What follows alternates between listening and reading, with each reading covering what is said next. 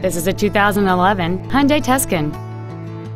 It features a 2.4-liter four-cylinder engine and a six-speed automatic transmission. Its top features include a low tire pressure indicator, traction control and stability control systems, a built-in iPod integration cable, aluminum wheels, and satellite radio. The following features are also included heater vents for rear seat passengers, cruise control, heated side view mirrors, a leather wrapped steering wheel, a rear spoiler, an illuminated driver's side vanity mirror, a security system, an anti lock braking system, a rear window defroster. And this vehicle has fewer than 21,000 miles on the odometer.